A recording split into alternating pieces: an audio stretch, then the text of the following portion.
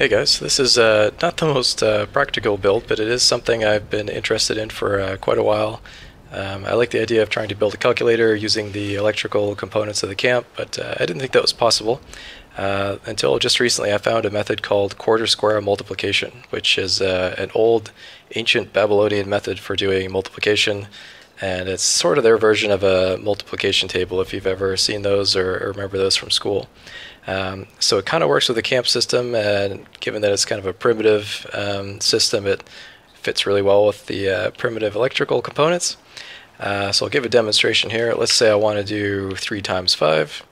I'll select the number 3 and the number 5. And in quarter square multiplication, the first thing it's going to do it has to sum these two values together. So what you're going to see here is the number 8 and I must go over here and select the number 8 from the list. So it's going to go 2, 3, 4, 5, 6, 7, 8. And the next thing we must do is uh, we have to find the difference between 5 and 3. So I'll select 3, the lowest value. And the difference between them is 2. So I'll go over here and I'll select 2. And we have 15. So there are 15 light boxes lit for the answer of 15 for 3 by 5.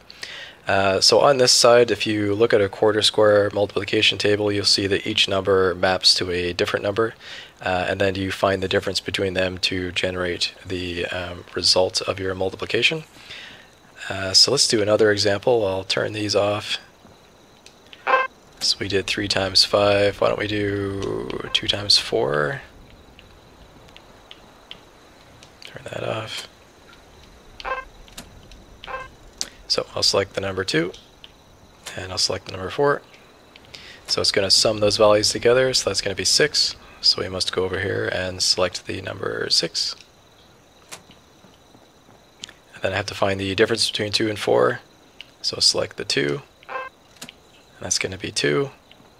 And then select the 2 here.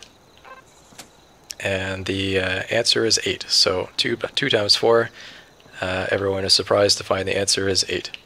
Um, now there's some limitation with this. I can't calculate anything higher than 16 just because you can't wire um, more than 20 wires to any particular object. Uh, so that did limit me as to the size of some of the numbers I could calculate. There were some other limitations here. Now if I show how this is set up, um, if you've seen some of the videos I did on power pathing and priority, you'll know why I'm using all these powered speakers. Each speaker represents one.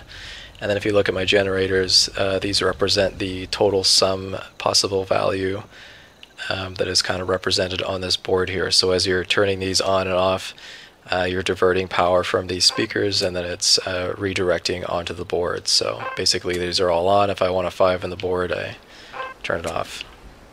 Oops, I must have a button on here. Yeah, so if I turn it off, I'll have 5. If I turn this 3 off, I'll have 3. Uh, and now the mapping for the multiplication table. On the right side, it's a lot hairier. It's a lot more, um, it's, it's definitely a lot more expensive on the copper, but uh, you'll see uh, there's probably 1 to 200 powered speakers here. And that's because these mappings are a lot higher and they get exponentially larger. So as we get to like the 8, I turn this off and uh, but 8 is going to be like a full 16, and then I think the 9 is 20, but I can't actually show that on the board. So, um, And back there are the generators. I think that's like 70 power, or something like that. Uh, and all 70 powers accounted for by these powered speakers. Uh, so yeah, I'd recommend if you want to know how some of that works to watch the power uh, pathing and priority video. But uh, other than that, yeah, this isn't super practical. I, I, don't think it has a use, and um, yeah, I just thought it was interesting, so I thought uh, I'd show it and hope you guys thought it was interesting too.